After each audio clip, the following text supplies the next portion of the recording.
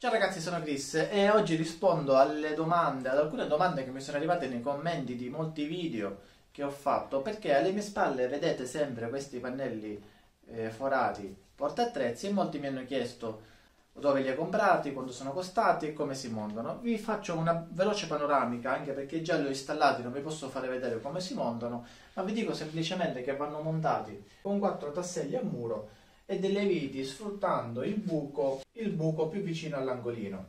È semplicissimo il montaggio, basta allinearli e, e il gioco è fatto. Io non ho sfruttato i fori che sono nella parte interna, come vedete qua, quindi è possibile eventualmente mettere dei piccoli bulloncini nella parte più adiacente al muro per unirli prima di, di fissarli al muro però io non l'ho fatto perché alla fine comunque l'installazione è semplice, basta avere eh, una livella o una livella laser. Quindi installate il primo, tutti gli altri li possiamo installare appoggiandoli a, a questo stesso. Questi qua che vedete sono della Oreca, spero di dirlo bene, e sono 980 x 4,60. In commercio abbiamo diverse tipologie di pannelli forati, abbiamo il pannello in ferro 100 x 50, abbiamo il pannello in plastica 50 x 50, pannelli in ferro di diverse misure e abbiamo il pannello in legno, in questo caso MDF, che troviamo già incluso nei banchetti da lavoro. Io personalmente non mi piace utilizzare il eh, pannello forato sul banco dove lavoro perché spesso mi capita di sbattere o che cadono utensili, quindi metto tutto da questa parte. Il pannello in plastica pro e contro. Come vedete non li ho montati e non li ho montati perché nel garage che avevo prima dopo 4-5 anni si sono spaccati tutti in quanto il sole batteva sempre sul pannello che aveva rovinato eh, le caratteristiche della plastica. Come sappiamo la, la, plastica, qualsiasi tipo di plastica più o meno è fotodegradabile, quindi si è seccato, in poche parole si è seccato col sole. Come mettiamo i nostri utensili in questi pannelli?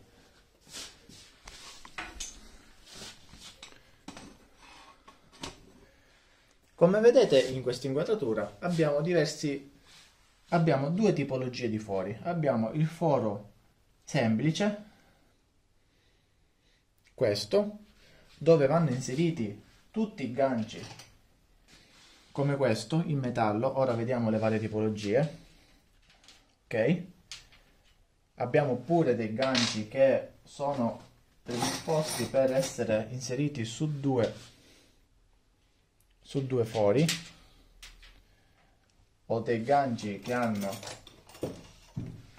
un supporto per poter sostenere chiavi o attrezzi di un peso maggiore.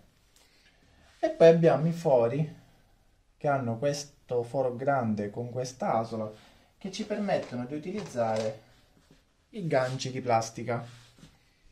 Quindi si inserisce si fa scorrere verso il basso ed è tutto il nostro gancio di plastica. Quelli che vedete qua sono solo alcuni dei ganci in commercio, che sono più o meno quelli più utilizzati da me. In base al tipo di chiave, in base alle dimensioni e al peso, ci sono ganci per tutti gli usi. Faccio un po' vedere i gancetti che non sto utilizzando, più o meno sono quasi tutti i modelli in commercio, c'è qualche modello un po' più particolare, ma in genere quelli che si utilizzano sono questi qua. Su questa tipologia di pareti possiamo anche appendere, come vedete in questo caso, dei set di chiavi ed accessori che hanno il loro espositore, che hanno il loro supporto. In questo caso io ho tutte queste chiavi ben ancorate da questi due ganci, quando mi serve qualche chiave apro e prendo, così lo spazio occupato è molto meno che metterli in questo modo per esempio. Nel video vi faccio una breve panoramica, ancora devo sistemare tante cose, qui ho messo tutte le chiavi inglesi, qualche pinza, qualche cacciavite, anche se cacciavite ormai utilizzo sempre quelli delle cassettine con i cricchetti. Qui ho messo quelle cose che non si usano frequentemente ma che mi piace avere a portata di mano, così come l'aspirapolvere ad esempio o la rivettatrice per inserti filettati, le fascette e altre cose.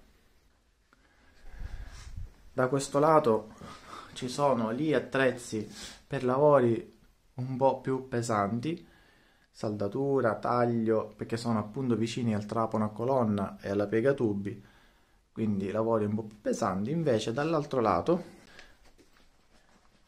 vediamo che avendo poco spazio ho tagliato l'angolino posteriore per sfruttare il, panello, il pannello da 100 x 50 piegato al centro quasi ho fatto un intaglio da questa parte sfruttando appunto l'angolino. Questi qua eh, li ho presi dal Brico Center al prezzo di 12 o 13 euro, non mi ricordo se erano 11,90 o 12,90, vi metterò il link in descrizione. Vi metterò anche il link in descrizione di altre tipologie di pannelli forati per attrezzi, vi metterò anche i link per acquistare eh, su Amazon eh, tutti tutti i ganci di tutte le tipologie che vi serviranno per appendere i vostri attrezzi. Un consiglio che vi posso dare è che per non ritrovarvi come me ed avere centinaia di ganci non utilizzati, vedete più o meno quello che dovete mettere sulla, sul pannello forato, quindi selezionate, devo mettere i cacciaviti, devo mettere le chiavi inglesi, devo mettere le chiavi a cricco e cercate di comprare i ganci adatti a quel tipo di utensile altrimenti vi ritroverete con tantissimi ganci non utilizzati e comunque siccome i ganci non costano poco non è il caso di prendere tutti questi soldi e lasciarli come ho fatto io, come sto facendo io in questo caso, dentro uno scatolino lì inutilizzati. Prima di chiudere il video ti dico un trucchetto che ho usato nell'altro garage ma che ancora qui non ho messo in pratica perché la disposizione che state vedendo in questo momento è provvisoria in quanto ancora ho sparsi nelle cassette, negli scatoloni ancora molte chiavi, molti attrezzi e che se volete evitare per esempio, guardate per esempio questo gancio qua, se volete evitare che succede questo, quindi che vi cade il gancetto quando prendete la vostra chiave, ci mettiamo da questa parte, ve lo faccio rivedere, quindi voi prendete la vostra chiave e il gancetto cade. Un trucchetto qual è? Una volta definita la posizione ed essere sicuri che non la cambierete, prendere una pistola con la colla a caldo e quando c'è il gancetto inserito senza la chiave, mettere un goccino di colla a caldo qua. La colla a caldo poi comunque se la volete togliere vi basta fare un po' di leva, si toglie facilmente. In questo modo il gancetto sarà più stabile e non, non rischierà di cadere ogni volta che prendete la chiave.